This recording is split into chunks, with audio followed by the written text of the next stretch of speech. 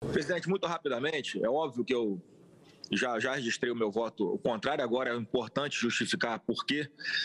É, na verdade, há um consenso de que houve falha, mas não sabe-se ainda o, o, grau de, o nível de responsabilidade de cada, de cada órgão, seja do governo estadual, seja do governo federal.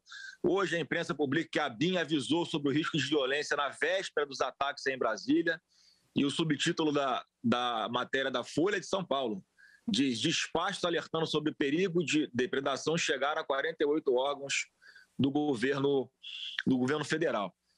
Então, presidente, não pode descartar nenhuma possibilidade. Eu já vi, já presenciei, enquanto era deputado no Rio de Janeiro, infiltrados em manifestações legítimas que queriam melhorias salariais, melhores, melhores condições de trabalho, e havia sempre essa infiltração de pessoas que não está descartada que tem acontecido também agora, nesses atos lamentáveis e condenáveis do último, do último dia 8.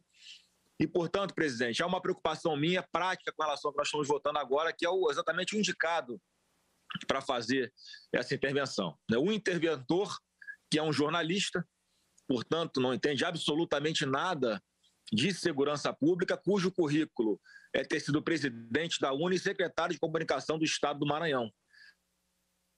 Portanto, eu não sei se essa pessoa, não conheço, para ser bem sincero, mas não sei se vai ter isenção suficiente para, se ao identificar pessoas que estariam infiltradas e que tenham vínculos, por exemplo, com partidos ligados à esquerda, se ele vai ter isenção suficiente para promover a justiça que todos nós queremos. A maior resposta que nós podemos dar é a identificação rápida daqueles que, de fato, com provas, de fato, podemos acusá-los de ter promovido esses atos absurdos e inaceitáveis dentro da nossa casa, no Senado Federal, no Palácio do, do, do Planalto e também no Supremo Tribunal Federal. E, por fim, o cartão de visita que tem sido dado às pessoas que é preciso separar, não dá para colocar todo mundo no mesmo balaio. Tem pessoa que está presa aí na academia da Polícia Federal porque estava ajoelhada na frente de um quartel rezando, senhorinhas, idosos, pessoas com deficiência, crianças, filmes de crianças também detidas dentro